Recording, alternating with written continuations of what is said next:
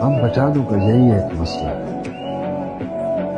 कि हम मेहमान को इनकार नहीं कर सकते। और ऊपर से अगर मेहमान बेटी हो तो फिर तो बिल्कुल ही बेड़ा गर्क हो जाए ठीक? लो, जब तक दिल करते रहो, तुम्हारे बाप का घर है।